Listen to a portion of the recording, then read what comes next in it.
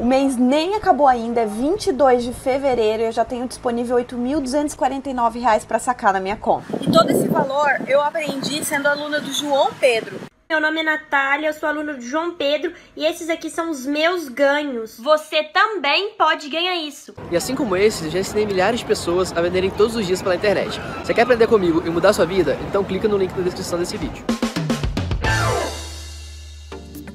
O Sétimo Guardião, capítulo 126, sábado 6 de abril.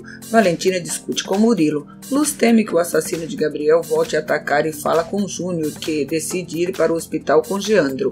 Laura manda Sampaio terminar seu serviço contra Gabriel. Aranha decide se confessar com Padre Ramiro. Valentina reclama de Murilo para Feliciano. Judite e Murilo se preocupam com o futuro dos guardiães. Sampaio consegue se aproximar de Gabriel no hospital, mas é surpreendido com a chegada de Geandro Leandro e Júnior. Laura se irrita com Sampaio. Feliciano procura Murilo. Olavo conquista o povo de Cerro Azul.